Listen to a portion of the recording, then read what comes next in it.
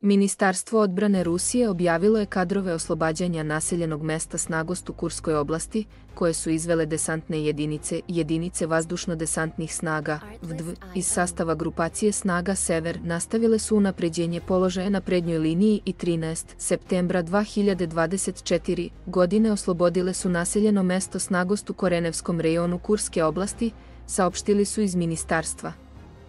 Tokom vazdušnog izviđanja, otkriven je sistem odbrane, kao i glavni uporišni punktovi i tehnika neprijatelja u naselju i na njegovim periferijama.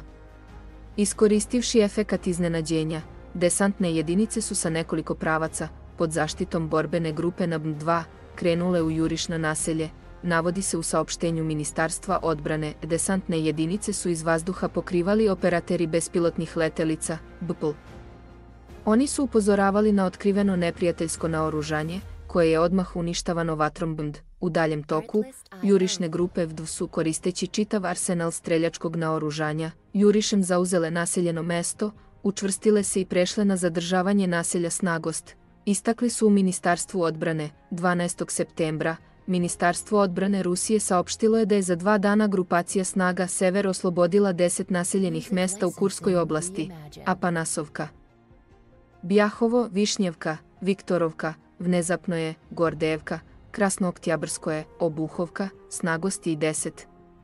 Oktobar predsjednik Vladimir Putin je izjavio da je Kijev, izvršivši napad na Kursku oblast, pokušao da zaustavi rusku ofanzivu u Donbasu, ali mu to nije pošlo za rukom.